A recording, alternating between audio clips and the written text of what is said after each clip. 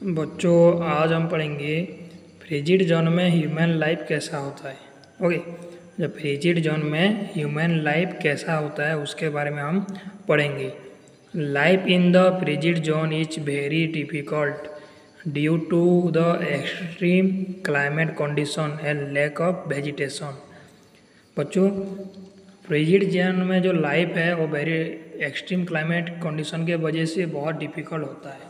Okay frigid zone में रहना बहुत डिफ़िकल्ट होता है। क्यों? क्योंकि एक्सट्रीम क्लाइमेट कंडीशन के लिए फ्रिजिड जोन में रहना और उनका, उसमें लाइफ बहुत डिफ़िकल्ट है।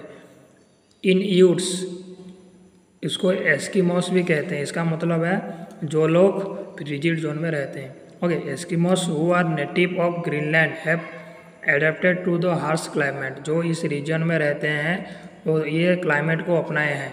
ओके ये क्लाइमेट में रहकर उनका आदत हो गया है okay they are short and stout people वो बहुत छोटे होते हैं, देखने में बहुत छोटे जैसे दिखते हैं okay they have flat faces with small eye और उनका फ्लाट जैसा फेसेस होता है फ्लाट फेसेस होता है और छोटे छोटे आए होता है, चौड़े फेसेस होता है और छोटे छोटे आए होता है okay their skin is copper yellow in colour उनका स्किन बच्चों येल्लो कलर हो जाए, जैसे होता है।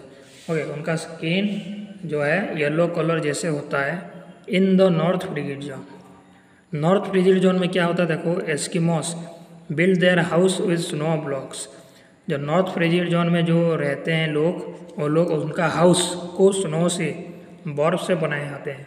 ओके उनका जो घर है, चारों तरफ़ बर्फ़। जमा हो जाता है। Okay? These house are called igloo इनको कहते हैं बच्चों, ये हाउस को कहते हैं इग्लो देखो बच्चों, ये है, उनका चारों तरफ़ बर्फ़ हो जाता है, इसको कहते हैं इग्लो बर्फ़ के घर जैसा दिख रहा है, ये देखो। ये है बच्चों इग्लो ये जो फ्रिजिड जोन में जो लोग रहते हैं, उनका हाउस ऐसा होता है। Okay? These are right house they enter the exist through a tunnel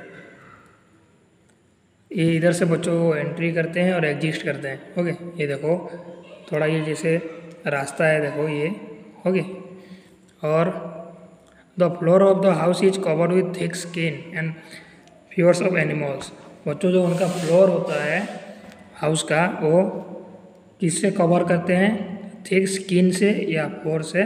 animal के स्किन से ये कवर करके रखते हैं ओके उनका जो घर होता है, वो एनिमल के स्किन से कवर करते हैं।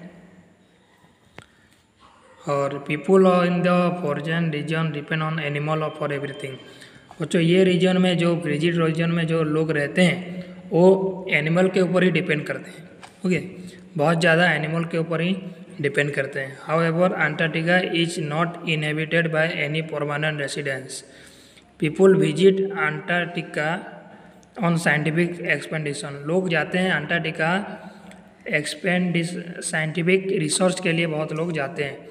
Scientists and research scholars stay in specially constructed temperate, temperate residence house to conduct research work.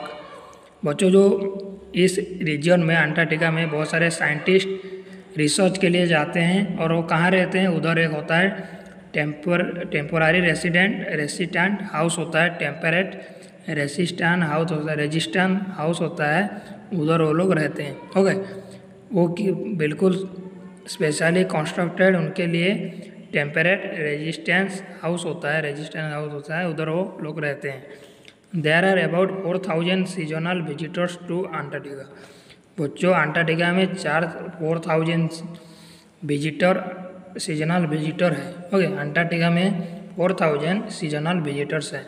Okay तो अंटार्कटिका के जो लोग रहते हैं, बहुत छोटे दिखने को होते हैं। उनका आय जो होता है, बहुत छोटे छोटे होता है। उनका बॉडी का कलर येल्लो होता है, ये याद रखना ओके वो लोग का जो घर होता है, चारों तरफ़ बर्फ़ हो जाता है। ओके उनको कहते हैं इग्लू और उनके चारों तरफ़ स्किन एनिमल के स्किन से कवर करके रखते हैं।